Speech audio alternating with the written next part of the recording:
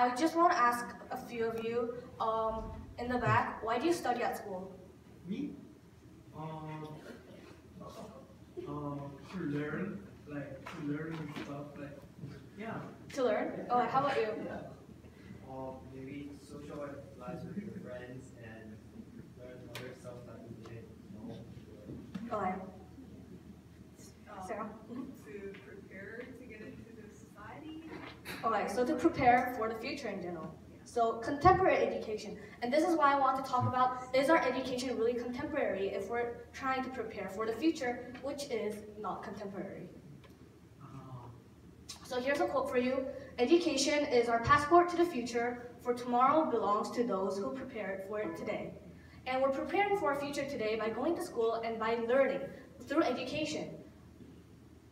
And here's what it looks like, past to present, we're continuing to learn. And you've probably been in school for the last probably 11, 10 years. And we're studying in the past and in the present for our future because our success and our work and our desire to change the world lies in the future. And our education only extends to wherever we are in the present. And now, this is another quote I want to bring to you. The past has no power over the present moment. How does that feel? Your education that you have learned in the past has no power of the present. And this is what I think education means more likely today in the 21st century. Whatever you learned in the past is not going to help you in the future. Now, that is because 21st century education is behind.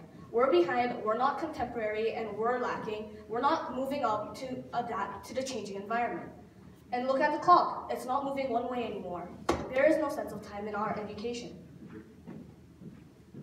So here, I just broke down the high school curriculum, basically. So English, you are required to get four years of English education for literature, for understanding, and for cultures that are embedded in these literature.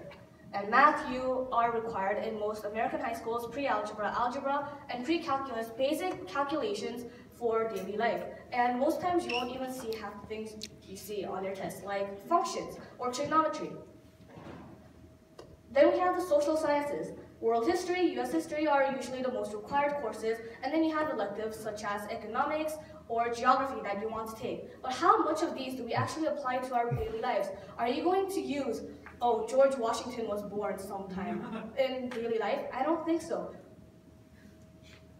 And sciences. Most schools require three sciences, biology, chemistry, and philo mm, philosophy, physics. And these help us learn about inquiry, how to make logical reasoning between cause and effect. And these are all skills that we have been learning since the 20th century. These are skills that we have been learning ever since education began, because these are just fundamentals that we have to know, and these aren't anything new that we have adapted to the 21st century. And here are some electives, art, music, computer technology, but computer technology, isn't that something more of an issue today? Why is it only an elective? Most schools in the United States, according to the National Institute on Education, don't even require computer technology or require just a semester of it.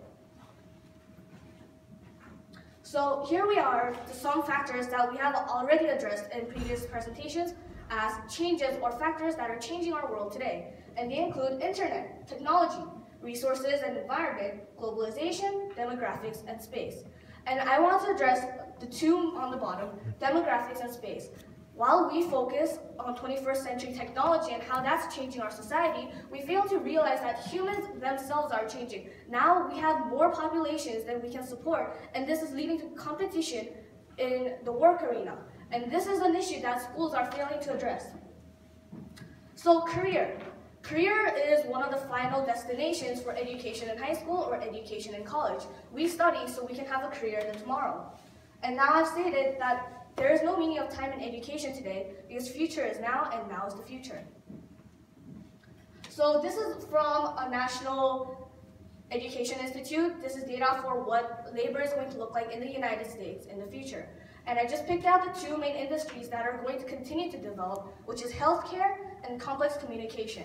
Now you might have thought it might be computer technology, but the reason why computer technology is not being as important towards our recent future is because we already have big data. We already have computers to hmm. mine the information that is on the web.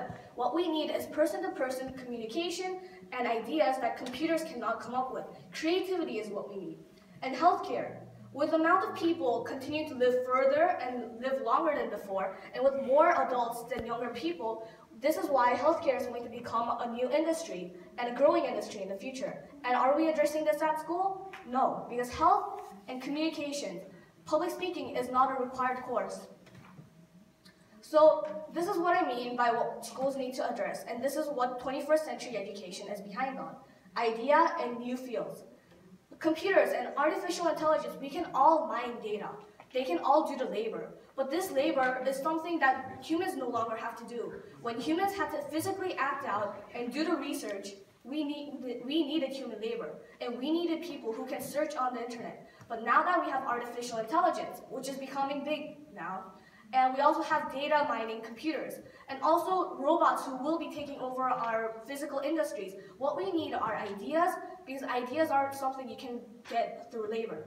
And that's why we also need to look into new fields. So, moving on, I just want to introduce some careers that didn't exist 10 years ago. 10 years ago, there were no app developers. Today, there are app developers. And have you ever heard of the job, generation mitigator? No, because generation mitigators are new jobs that are rising today in companies because the millennium workers, the millennium generations can't interact with the technology behind generations of before. The 50s of today are working with the 20s of today, and who needs to be in the middle? The generation mitigators. And this is only happening because our future is coming closer to us than our present is. Because now that our present is the future, our education needs to adapt, and our education needs to realize that careers are no longer going to be stagnant. We aren't just going to need lawyers and medical professionals. We're going to need people who are going to go to space, who are going to give ideas that can't be reached through physical labor. And that is why 21st century education is behind, and these are critical issues that our education system needs to accomplish. Thank you.